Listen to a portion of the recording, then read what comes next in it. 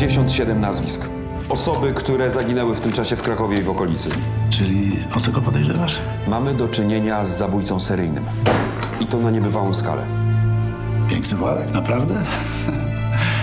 Gdzie są inne ciała? Ja nikogo nie zabiłem. Nigdy nie zamkniesz tej sprawy. On się tym obawi. Stać cię na to, żeby odmienić czyjś los. Dać komuś poczucie szczęścia. Odrobinę luksusu. To jest miłość? We troje? Ty nic nie rozumiesz. On jest do niego podobny.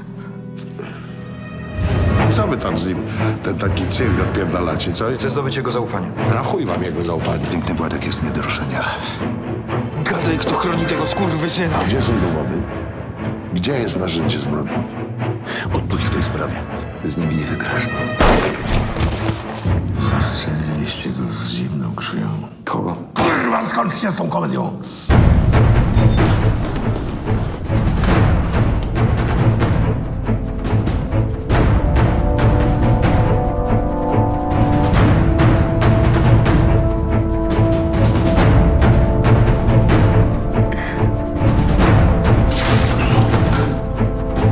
Jak ja nienawidzę tej roboty.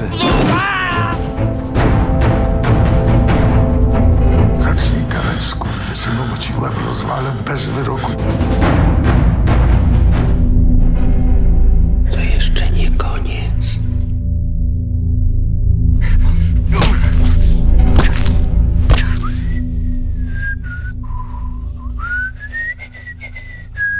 Takie rzeczy się nie zdarzają. Na pewno nie u nas.